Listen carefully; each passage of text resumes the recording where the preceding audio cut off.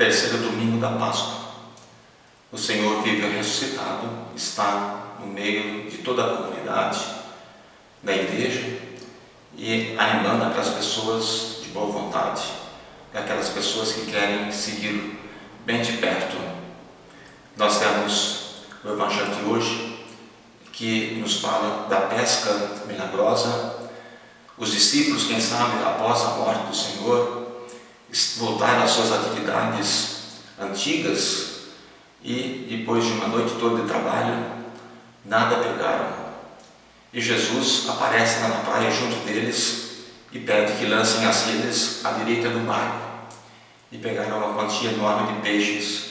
E Jesus come também com eles ali na praia.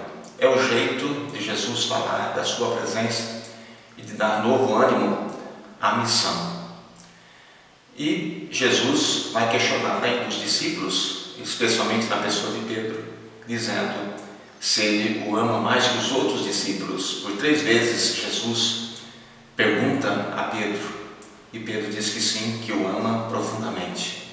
Na verdade, é a igreja que nasceu no coração de Jesus que deve também amá-lo, buscá-lo servi-lo.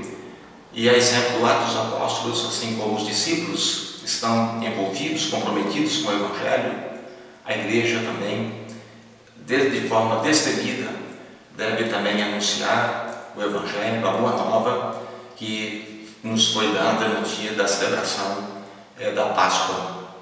E nós temos o livro do Apocalipse, que é a segunda proclamação, que nos aponta para o Cordeiro. Tudo se volta para o Cordeiro, é nele que realmente a, a nossa vida tem sentido. E os atributos são muito bonitos, dirigidos ao Cordeiro, e a força, o poder, a glória, o louvor, para dizer que de fato Jesus é o nosso Senhor, é o Senhor da história.